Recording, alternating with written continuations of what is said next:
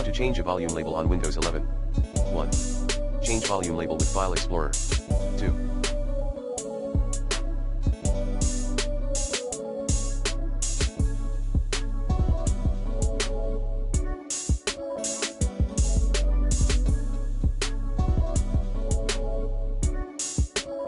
Change volume label using the Settings app.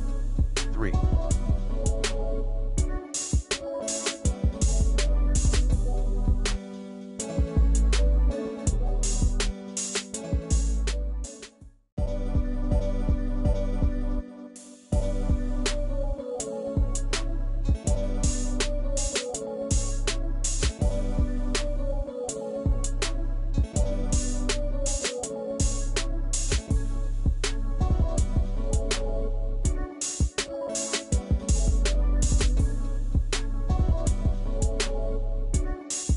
Volume label via the disk management tool, disk.msc. 4.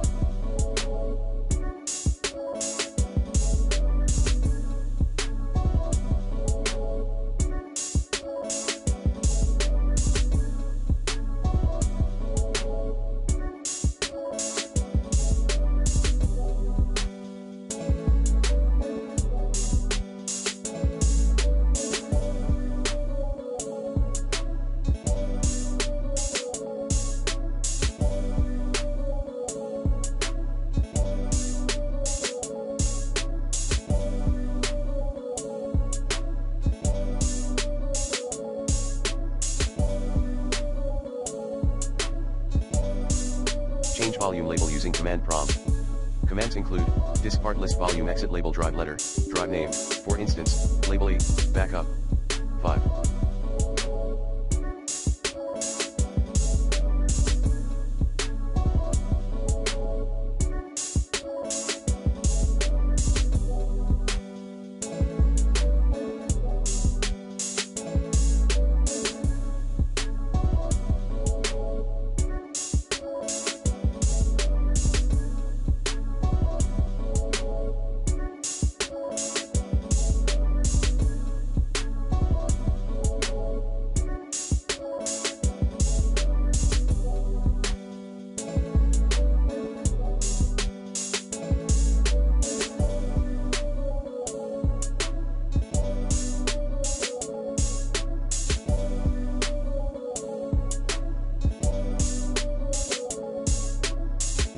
Change volume label using PowerShell.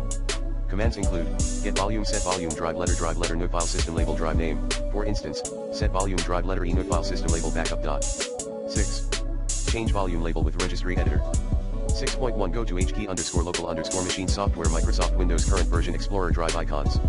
6.2 Create a new subfolder under drive icons, name it using a desired letter. 6.3 Enter a desired subfolder, folder name, under the above mentioned letter.